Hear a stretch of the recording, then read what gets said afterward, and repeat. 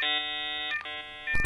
The filter method creates an array filled with all array elements of another array that pass a test provided as a function. Filter does not execute the function for array elements without values, and it does not change the original array. Here's the basic syntax of the filter method. First, we create a new variable to hold the new array. Then we refer to the array that we want to filter using .filter. The filter method accepts a function callback, and that function has access to the current element, index, and the entire original array. In this example, we have some numbers. If our goal is to filter only the even numbers, we can set it up like this. Here we are only interested in the value. Then we are returning the value only if it is divisible by 2 with no remainder. In our new variable, we now have an array with only the even numbers. We can shorten this by using an arrow function. We can also shorten the variable from value to in since that would make sense. And instead of checking if it is equal to 0, we can instead check for false, since 0 would be equal to false and that is what we're looking for. A more common use case would be filtering objects. In this example, we have an array of objects containing all of the Star Wars movies. If we had a movie app or website, we would want to provide a way for our users to filter the items. So if we only want the most recent movies, we can filter it this way. For the variable, we'll call it L for element. Then we get the year and check to see if it is greater than or equal to 2015. Now we get only the three most recent Star Wars movies. This has been a 90 second JavaScript January.